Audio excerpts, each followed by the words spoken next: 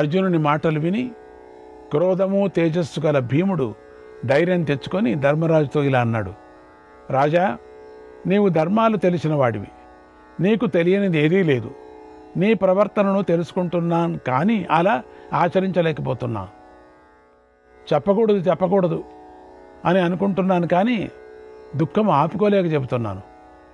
అది నీవు తెలుసుకో రాజా. నీ మోహం చేత అంతా సందేహంలో పడింది. ఈ తనువులు మనసులు వ్యాకులపడి దుర్బలం అయ్యాయి నీవు లోకానికి రాజు. సర్వశాస్త్రాలు తెలిసిన వాడివి దీనత్వంతో అల్పమానవుడిలాగా ఎలా ఇలా ఎందుకు మోహం పొందుతున్నావు? పూర్వం కూడా ఇప్పుడు కూడా లోకం యొక్క మంచి మార్గము చెడు మార్గం కూడా నీకు తెలుసు. నీకు తెలియంది ఏదీ లేదు. ఇటువంటి వాడివే కాబట్టే రాజ్యం పాలించడానికి తగిన యుక్తిని చెబుతున్నాను. ఏకాగ్రతతో విను. వ్యాధి అనేది రెండు విధాలుగా పుడుతుంది. ఒకటి శరీరానికి మరొకటి మనస్సుకు సంబంధించినటువంటివి. అవి రెండు ఒకదానితో ఒకటి సంబంధించే పుడుతున్నాయి. అవి ఎప్పటికీ విడివిడిగా పుట్టవు. వ్యాధి ఆది. శరీర రోగం ఏమవుతుంది? వ్యాధి అంటారు. మనోరోగం ఆది. ఆది వ్యాధి అంటే ఇవే. శరీర రోగం వల్ల మనస్సుకు మానసిక రోగం వల్ల శరీరానికి రోగం కలుగుతూ ఉంటుంది. ఇది నిశ్చయం. శారీరం మానసం దుఃఖం. యోతీతమనుశోచతి. యోతీతమనుశోచతి. దుఃఖేన లభతే దుఃఖం. దుఃఖేన లభతే దుఃఖం. ద్వావనర్థో చ విందతి. ద్వావనర్థో చ జరిగిపోయిన శారీర మానసిక దుఃఖాలను తలుచుకొని ఏడ్చేవాడికి ఒక దుఃఖం చేత మరో దుఃఖం కలుగుతుంది. ఇలా రెండు అనర్థాలు పొందుతాడు. శీతము ఉష్ణము వాయువు అనేవి శరీరంలో పుట్టే మూడు గుణాలు. ఆ గుణాలు సమానమైన పాళ్ళలో ఉండటమే ఆరోగ్యవంతుని లక్షణం. శీతమంటే శ్లేష్మం. ఉష్ణమంటే పైత్యం. ఈ మూడింటిలో ఒకటి ప్రకోపిస్తే దాన్ని తగ్గించడానికి తగిన విధానం చెప్పబడింది. వేడి వల్ల శ్లేష్మము శీతం వల్ల పైత్యము సమమయం అవుతాయి. సత్వము రజస్సు తమస్సు అని మనోగుణాలు మూడు. వాని సమత్వమే ఆరోగ్యవంతుని లక్షణం. వాటిలో ఏదో ఒకటి ప్రకోపిస్తే తగిన చికిత్స ఇలా చెప్పబడింది. హర్షం శోకాన్ని శోకం హర్షాన్ని బాధించి చక్కబరుస్తాయి. ఒక్కొక్కడు సుఖపడుతూ దుఃఖాన్ని స్మరిస్తాడు. మరొకడు దుఃఖిస్తూ సుఖాన్ని స్మరిస్తాడు. ఎంత తమాష చూడండి. చాలా సుఖంగా ఉంటారు చాలామంది. సోఫాల్లో కూర్చొని లక్షణంగా ఉంటారు. రోగాలు కూడా ఉండవు ఆనందంగా డబ్బులు ఉంటాయి. కానీ ఇరవై ఏళ్ళ సంగతిని అనుకొని దుఃఖిస్తారు. ఏం కర్మ కాకపోతే. సుఖంగా ఉండేవాళ్ళు ఎందుకయ్యా జ్ఞాపకం చేసుకొని దుఃఖిస్తారు? తప్పు కదా. ఇక దుఃఖంగా ఉండేవాళ్ళు సంగతి. సుఖాన్ని గురించి వాళ్ళు జ్ఞాపకం చేసుకోకుండా ఉంటారు. ఇంకా ఎక్కువ దుఃఖాన్ని దుఃఖించుకుంటూ ఉంటారు. కానీ నీవు దుఃఖాతిశయంలో దుఃఖపడటమూ లేదు. నువ్వు మాత్రం సుఖాతిరేకంతో సుఖపడటమూ లేదు. పోనీ సుఖపడుతూ దుఃఖాన్ని స్మరించడమూ లేదు. దుఃఖిస్తూ సుఖాన్ని స్మరించడమూ లేదు. పోని రెండూ చేయపోని రాజా అందుకే దైవం బలీయమైనది లేదా నీ స్వభావమే దుఃఖించడం ఏమో? అందుకే ఇలా విలపిస్తున్నావేమో? ఊరికే ఏడుస్తున్నావు. లేకపోతే ద్రౌపది ఒకే వస్త్రం ధరించి సభలోకి పాండవులంతా చూస్తూ ఉండగా తేబడింది కదా ఆ రోజు? ఆ దుఃఖాన్ని ఎందుకు తలుచుకోవు నువ్వు? తలుచుకో ఇప్పుడు. నగరం నుండి వెళ్ళగొట్టడము మృగచర్మాలతో పడుకోవటము అరణ్యంలో నివాసము వీటిని ఎందుకు తలుచుకోవు నువ్వు? జటాసురుని వల్ల పొందిన కష్టము చిత్రసేవునితో యుద్ధము సైంధవుని వల్ల పడినటువంటి కష్టము వీటిని ఎలా మర్చిపోయావు నువ్వు? ఇంకా అజ్ఞాతవాసంలో రాజపుత్రి అయినటువంటి ద్రౌపదిని కీచకుడు కాలితో తన్నడం ఎలా మర్చిపోయావు? రాజా మనం బలవంతులం దేవతలకు కూడా జయంపసఖ్యం కాని వాళ్ళం. కానీ విరాట నగరంలో సేవావృత్తిని ఎందుకు స్వీకరించామో ఒక్కసారి గుర్తు చేసుకో. నీకు ద్రోణ భీష్మాలతో జరిగిన యుద్ధం వంటిదే. ఇప్పుడు నీవు నీ మనసులో చేయవలసి ఉంది అది ఇప్పుడు సమీపించింది కూడా. ఈ యుద్ధం బాణాలతో చేసేది కాదు. మిత్రులతో బంధువులతో చేసేది కాదు. ఒక్క ఆత్మతోనే చేయాలి. ఆ యుద్ధం ఇప్పుడు వచ్చింది. ఈ యుద్ధంలో మనస్సును జయించకుండా నీవు ప్రాణాలు విడిచిపెడితే మరో శరీరం ధరించి మళ్ళీ ఆ శత్రువులతోనే యుద్ధం చేయాలి. ఇదే పని నీకు. అందుచేత కనిపించే స్థూల దేహాన్ని వదిలి తెలియని రూపం గల మనస్సుకు శత్రువు లాంటిదైనటువంటి ఏకాత్మతను ఇప్పుడే పొందాలి.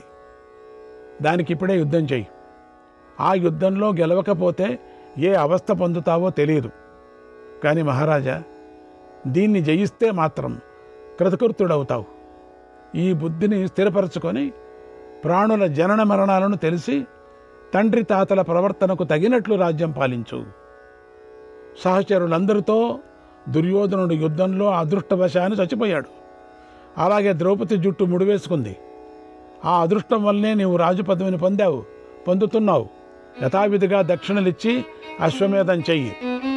వయం తే కింకరాగ పార్త వయం తే కింకరాగ పార్త వాసుదేవచ్చ వీర్యవాన్ వాసుదేవశ్చ వీర్యవాన్.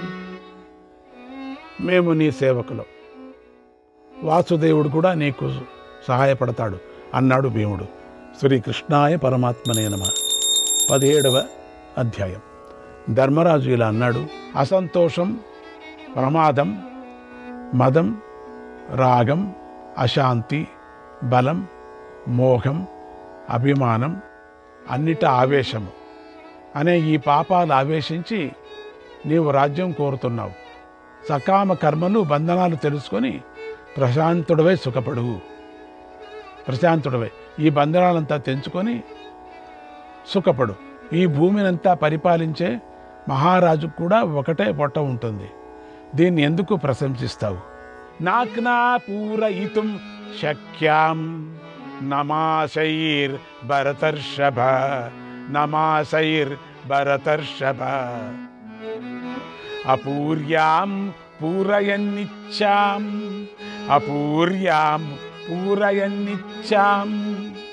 ఆయుషాపిన శక్నుయాత్ ఆయుషాపిన శక్నుయాత్.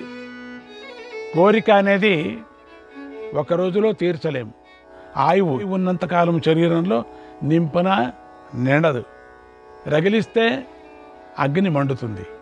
రగిలించకపోతే చల్లారిపోతుంది. అందుచేత ప్రజ్వలిస్తున్న జఠరాగ్నిని కొద్ది అన్నంతో చల్లార్చు.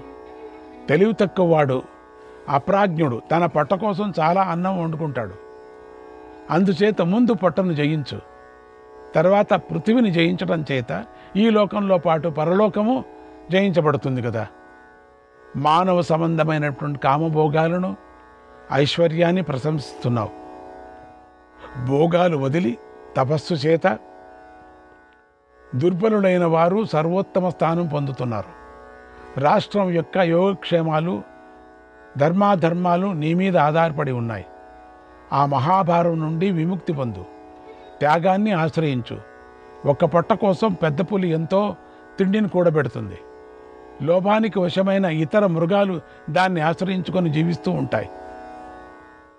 ప్రయత్నాపరుడైన సాధకుడు విషయ పరిత్యాగం చేసే సన్యాసం స్వీకరిస్తాడు.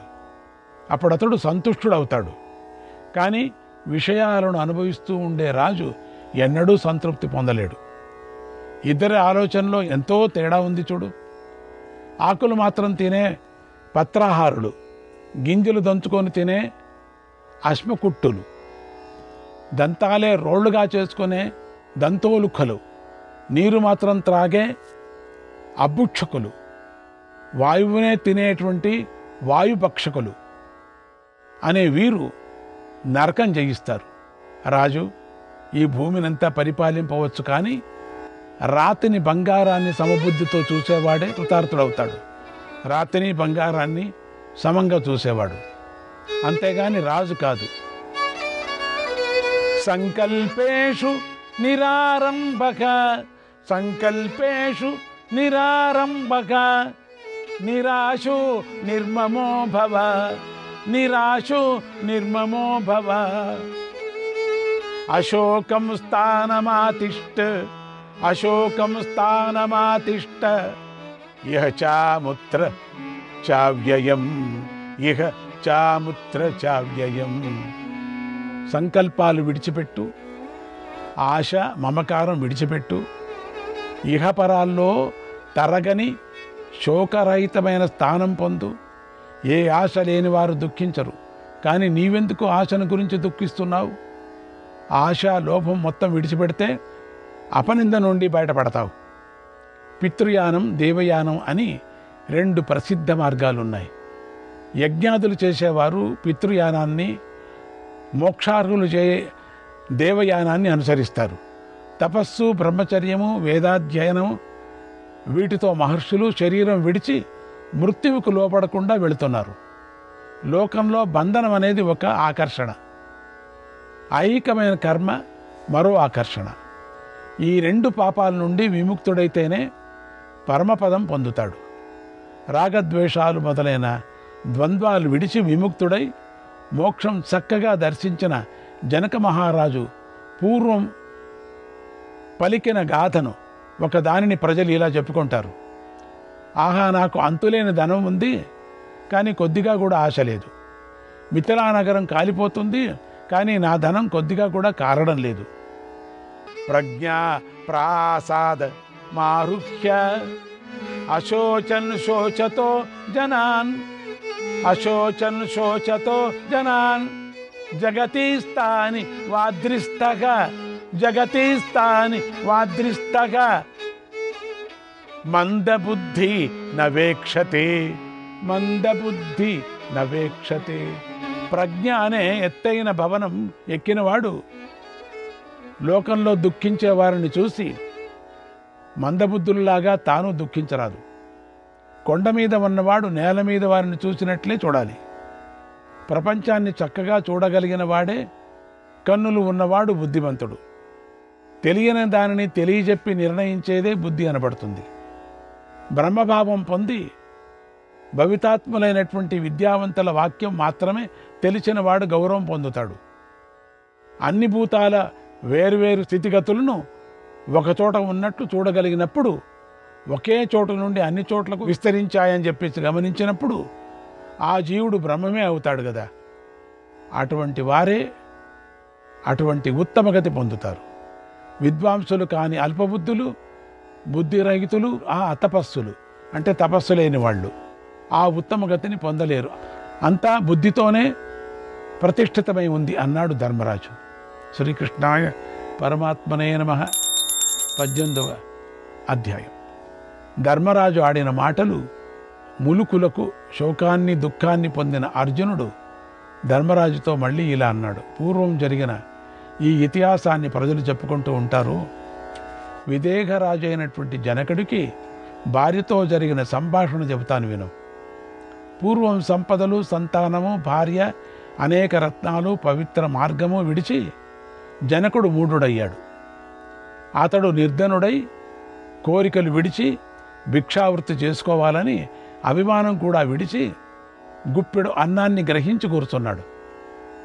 అప్పుడు అతని భార్య వచ్చి ఏకాంతంలో నిర్భయంగా అభిమానంతో కోపంతో హేతుబద్ధంగా ఇలా అంది ధనధాన్య సంపన్నమైన నీ రాజ్యం వదిలి భిక్షావృత్తిని అవలంబించి ధనాముష్టి చేపట్టడం నీకు మంచిది కాదు.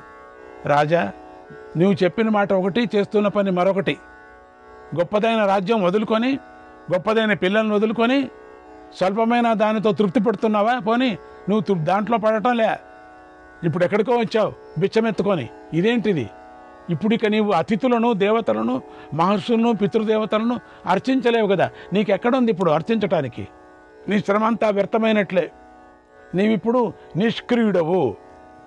ఎవరికి అన్నం పెట్టలేవు. నీకే అన్నం లేదు కదా ఇప్పుడు. దేవతలు అతిథులు పితృదేవతలు అందరూ కూడా నిన్ను విడిచిపెట్టారు. వెళ్ళిపోయారు. అందుకే సన్యాసం స్వీకరిస్తున్నావు ఈ సన్యాసమినా ఇప్పటిదాకా నీవు లోకానికి ప్రభువై వేదత్రయ మూర్తులైనటువంటి బ్రాహ్మణులను వేల కొద్ది పోషించావు. ఇప్పుడు వారి వల్లనే పోషించబడాలి అనుకుంటున్నావు నువ్వు. ఆ, వాళ్ళే నీకు బిచ్చమేయాలి కదా? ఎందుకంటే నువ్వు ఇచ్చావు బిచ్చం అందుకని వాళ్ళే వేయాలని.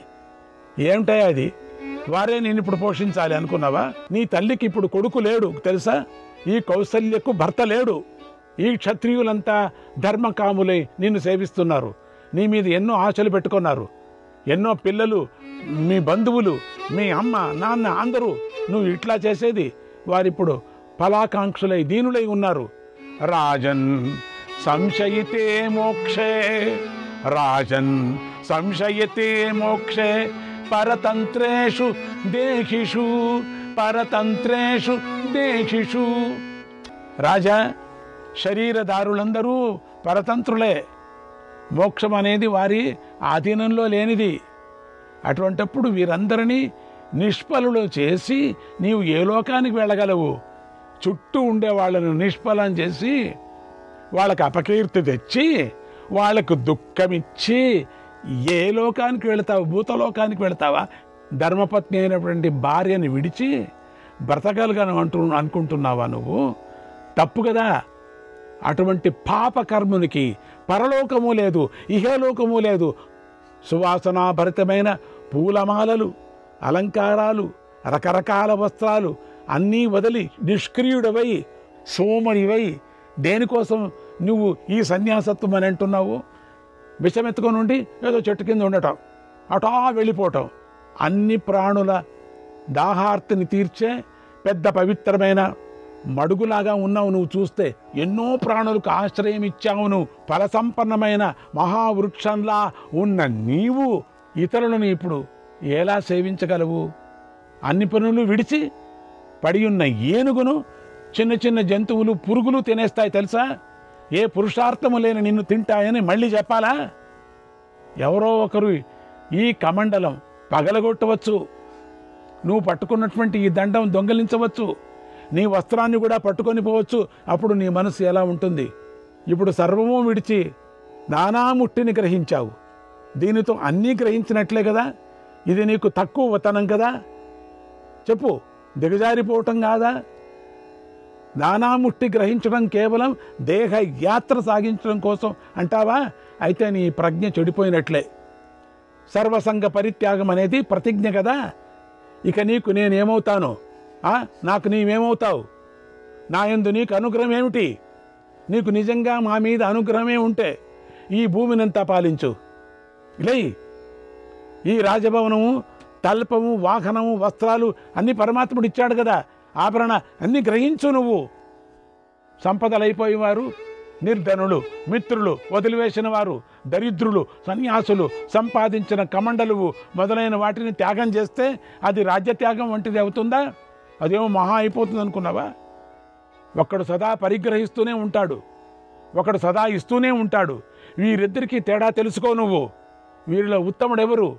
సదా యాచించే వారికి ఇచ్చినది గొప్ప కోసం వేషం వేసిన సన్యాసికి ఇచ్చినది రెండు దావాగ్నిలో పడిన హోమ ద్రవ్యమే అవుతుందయ్యా. అగ్నిహోత్రుడు పూర్తిగా కాల్చకుండా చల్లారడు. అలాగా సన్యాసి అయినటువంటి ద్విజుడు క్లేశాలన్నిటినీ కాల్చివేసి అనుభవించిన గాని శాంతించడు. సతాం వై దదతోన్నంచ సతాం వై దదతోన్నంచ లోకేస్మిన్ ప్రకృతి ధ్రువా లోకేస్మిన్ ప్రకృతి ధ్రువా. నచేద్రాజ భవేద్దాత నచేద్రాజ భవేద్దాత. కుతస్యుర్ మోక్షకాంక్షిణక. కుతస్యురు మోక్షకాంక్షిణ సజ్జనులకు రాజు ఎప్పుడు అన్నం పెడితే లోకంలో సన్యాసులు జీవితము వ్యవస్థ చెడకుండా ఉంటుంది. కొంచెం డబ్బు ఉండేవాడు కొంతమందికి అన్నం పెడితే భిక్షగాడికి అన్నం పెడితే వ్యవస్థ తెడకుండా ఉంటుంది. రాజే దాత కాకపోతే నువ్వేట్ల కాకపోతే మోక్షం కోరుకునేవారు ఎక్కడుంటారు? రాజు గృహస్థుల ద్వారా సన్యాసులకు దానం చేస్తే మోక్షాకాంక్షలను పెంచిన వాడవుతాడు రాజా. ఈ లోకంలో అన్నం వల్లనే గృహస్థులు ఏర్పడతారు. వారి వల్లనే భిక్షుకులు బ్రతుకుతున్నారు. అన్నము నుండి ప్రాణం కలుగుతుంది. శ్రీకృష్ణాయ పరమాత్మనే నమః.